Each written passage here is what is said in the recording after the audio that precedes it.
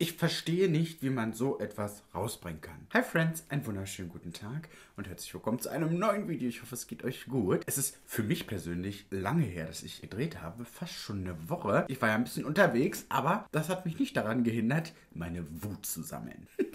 Äh, ich habe ein paar Produkte dabei, die ich euch gerne mit auf den Weg geben würde, die ich euch nicht empfehlen kann. Wir haben fast nur Drogerieprodukte, bis auf ein Produkt. Da müssen wir drüber reden. Das macht mich wütend. Ich verstehe es nicht.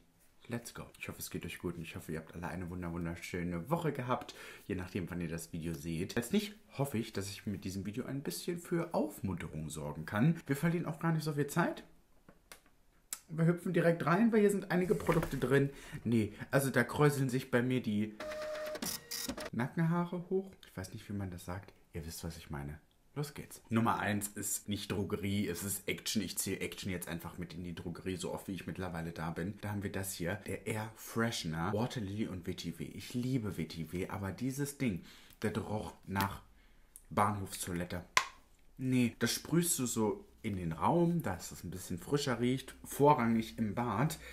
Ja, ja, du kannst das natürlich auch im Bad sprühen, aber dann riecht es bei dir im Bad genauso wie auf so einer frisch geputzten Bahnhofstoilette. Und die riecht ja nie frisch geputzt. Die wird einfach nur überdeckt mit Wasserlilie oder so. Ganz, ganz, ganz, ganz schrecklich. So schlimm, dass ich es wirklich auch weggekippt habe, weil ich, ich konnte den Geruch nicht. Ich habe auch nicht verstanden, warum ich das nicht im Laden gerochen habe. Ich glaube, es lag daran, weil jemand hinter mir stand und äh, ich dann nicht da riechen wollte. Ja, nee, würde ich nicht nehmen. Aber es gibt auch welche, die riechen nach Einhörnern. Es gibt auch welche, die riechen nach Wolken, nach Zuckerwatte. Da weiß ich zumindest, wie es riecht. Aber bei Einhörnern und Wolken, da ist dann meine Fantasie dann auch schon äh, wirklich begrenzt. Würde ich nicht kaufen. Es gibt von, ah, habe ich jetzt gerade nicht hier.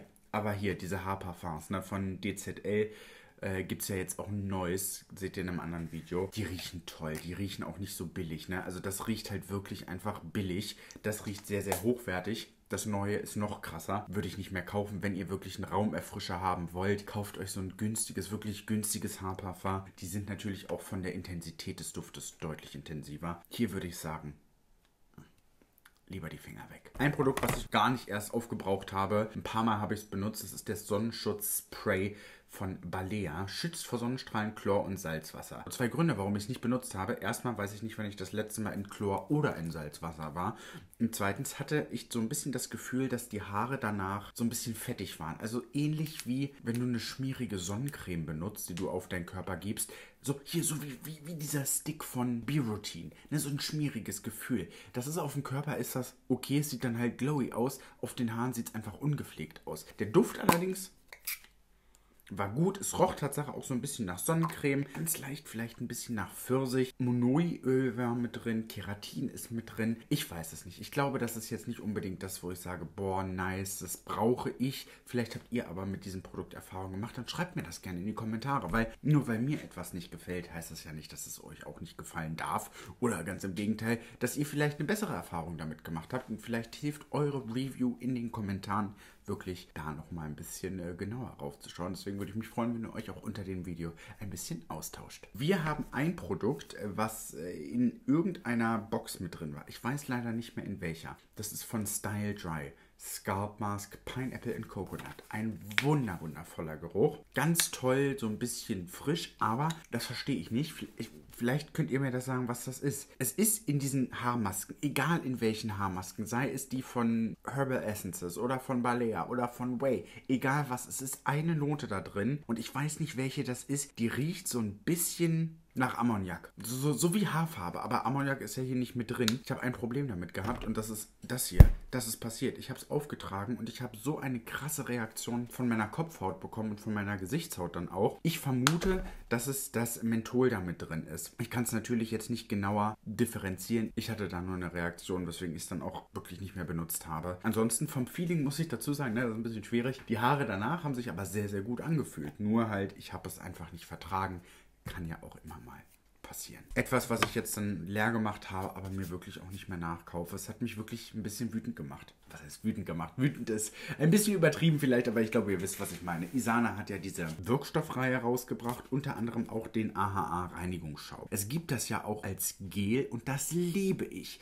Dieses Schaumding hat mich aber so ein bisschen an meine präpubertäre Zeit erinnert, an so einen Reinigungsschaum von Klerasil. Das Problem bei diesen aufschäumenden Pumpköpfen ist meiner Meinung nach, dass sie zu den Schaum zu fluffig machen. Und wenn du dich reinigst abends, dann musst du ja irgendwie so ein bisschen Widerstand haben. Aber der Schaum ist so fein, dass du, also, der, warte, warte mal, kommt noch was raus? Ja, so. Der ist ja sehr fein und sobald du ihn drückst, ist der Schaum dann weg und dann ist es einfach nur noch Wasser.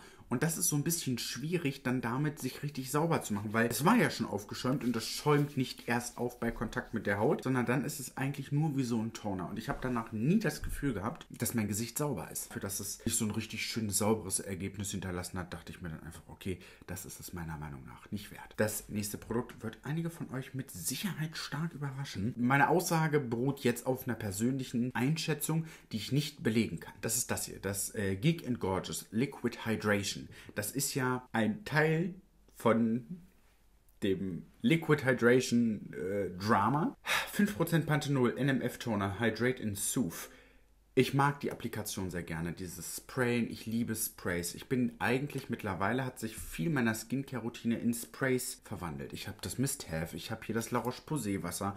Ich finde, diese Sprays sind eigentlich immer sehr gut, um zwischendrin mal schnell. Ich bin halt so eine Wuselmaus, ne? Wenn ich mich abends geduscht habe, dann fange ich mit meiner Skincare-Routine an. Dann starte ich erst mit dem Toner. Während der Toner einzieht, mache ich schon mal ein bisschen Deo rauf. Dann föhne ich mich so ein bisschen. Dann mache ich alles ein bisschen trocken. Dann kommt das nächste Spray. Und so kann alles immer schön einziehen. Und durch die Sprays habe ich das Gefühl, dass meine Hände dann einfach auch ein bisschen, ne, die können auch mal kurz weiß ich nicht, den Spiegel abwischen oder so, ohne dass ich dann alles voll mit äh, Liquid Hydration am, äh, an der Duschwand habe. Ich habe Pickel davon bekommen. Und ich habe wirklich so ein Ausschlussverfahren gemacht dann irgendwann und ich habe von dem Pickel bekommen. Und ich kann euch nicht sagen, was es war, weil hier nichts wirklich drin war, wo ich sage, hm, das hat jetzt meine Haut so ein bisschen reizen können. Hier ist ja nicht mehr Parfum mit drin. Ich kann mir vorstellen, dass es... Nee, kann ich mir nicht. Vielleicht das hydrolysierte Reisprotein weil das so ein Wirkstoff ist, den ich nie irgendwo sonst anders mit drin habe. Hat mir, mir persönlich hat es nicht funktioniert. Da würde ich dann beim klassischen äh, Liquid Hydrator bleiben oder einfach bei dem von Isana, der ist nämlich noch ein bisschen günstiger. Ja, das hat mir ein bisschen leid, weil ich die Geek Gorgeous Reihe unglaublich gut finde. Gerade das Retino, Retinal ist das, glaube ich. Das Hyaluronsäureserum, der Reiniger ist sehr, sehr, sehr, sehr gut. Aber das war jetzt einfach für mich so ein bisschen, ja, soll ich noch mal kurz wütend werden? Ich habe noch zwei wütende Produkte. Was heißt wütend? Na, ihr, ihr, kennt mich. Ich, ich, übertreibe ein bisschen. Ich bin ein bisschen äh, temperamentvoll. Nummer eins ist das hier. Wonder Lips Ampulle von B-Routine. Achtfach Hyaluron. Äh, intensive Hydration and Ultra Glow. Das ist eine Ampulle gewesen, die die Haut so ein bisschen. Also, ich finde es so ein bisschen schwierig, so, ein, so eine Lippenampulle, weil ich habe schon Lippe, aber in so einer Ampulle sind ein Milliliter mit drin. Das ist ganz schön viel für eine Lippe. Und ich habe es auch in zwei Tagen aufbrauchen können. Aber ganz ehrlich, ganz ehrlich, nehmt euch einfach ein Hyaluronsäureserum, was ihr eh schon zu Hause habt. Macht das auf die Lippen, was ich auch sehr, sehr gerne gemacht habe. Ne? Aber ich weiß nicht, ob ich das sagen darf. Hier dieses Visomax Augenspray einfach auf die Lippen. Schmeckt halt scheußlich, schmeckt wirklich scheußlich. Aber ihr habt hier halt auch Panthenol mit drin. Ne? Das beruhigt so ein bisschen. Die Feuchtigkeit ist gut für die Lippen. Und dann einfach ein Hyaluronsäure-Serum. Ist günstiger. Ich glaube, es hat 1,29, 1,99 gekostet. Mm, nee, also verstehe ich halt auch einfach nicht so eine Lippenampulle. Also, das ist halt das Problem mit Verpackungen. Ne? Oh, jetzt wird's wieder. Verpackungen suggerieren uns etwas Besonderes. Dr. Barbour Ampullen geben uns das Gefühl, das ist hochwertig, das ist konzentriert, da ist nur Wirkstoff drin. Guess what? Das ist einfach nur die Verpackung in einer anderen Ampulle, die natürlich auch preisintensiver in der Produktion ist. Aber am Ende des Tages kannst du auch die Wirkstoffe, die Wirkstoffkonzentration in so einer Ampulle kannst du auch in eine Drop-Pipette machen. Das ist kein Problem. Das war mir jetzt einfach nichts. Und das nächste Produkt, und das ist das habe ich nicht verstanden und ich bin ja, ihr merkt es, ne, ich bin so ein bisschen auf Kriegsfuß mit Benefit im Moment, weil ich einfach, ich wünsche mir, dass da was passiert, dass das ein bisschen, oh, ein bisschen schöner wird. Und dann kam die vor einer Weile mit diesem Hubba-Brow raus. Das ist ein Augenbrauen-Serum. Erstmal das Füßchen, das ist, fand ich schon fast körperverletzend. Ich glaube, ihr könnt es nicht erkennen. Ich gucke mal, warte mal.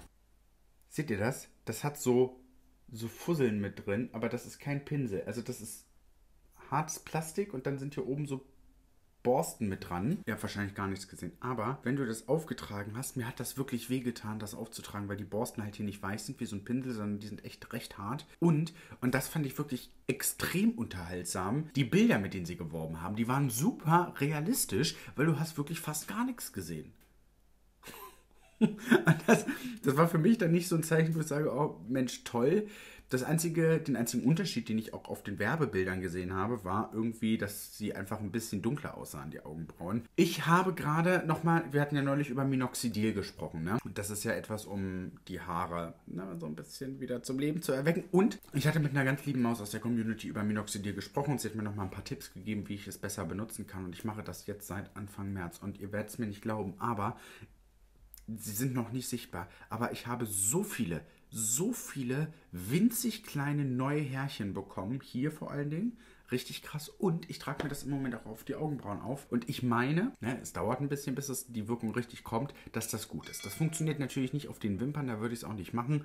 Aber auf den Augenbrauen funktioniert es bei mir, glaube ich, ganz gut. Und im Moment auch am Haaransatz. Und ich ich krieg nicht, dass mein Kopf so die ganze Zeit juckt. Und das war so ein Produkt, wo ich gedacht habe, nee, Warum? Also, äh, habe ich ganz vergessen.